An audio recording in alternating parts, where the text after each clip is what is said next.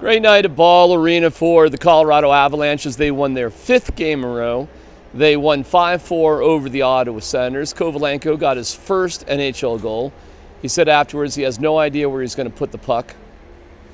Uh, maybe it's not that big of a deal, but you know, it is a big deal to be on a, a team that supports you, that um, helps develop young guys and, and has things going. Ross Colton with another goal.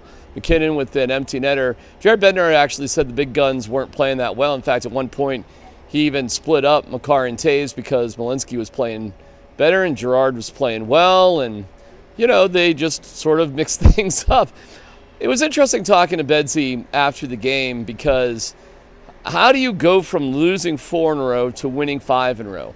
And his answer was, well, this actually does happen all the time.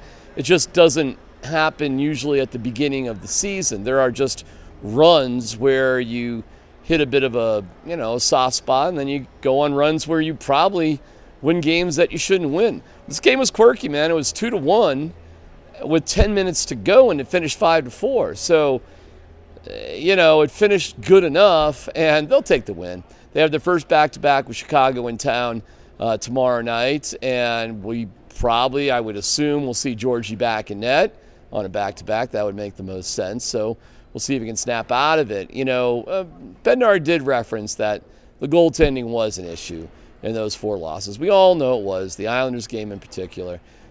Okay, fine. You know, you're starting the season all over, and now you're five and four. So great rebound for the Avalanche. So it is interesting. Just it, I, I can't help but see some of the similarities um, between Sean Payton being so upset with how they won the game today, because Bednar did acknowledge that you can slip into bad habits if you're winning games and you're not winning them the right way. It can bite you in the ass, you know, later on down the line. And, and I, I do think that's what Sean Payton was inferring, you know, earlier today over there at uh, Empower Field.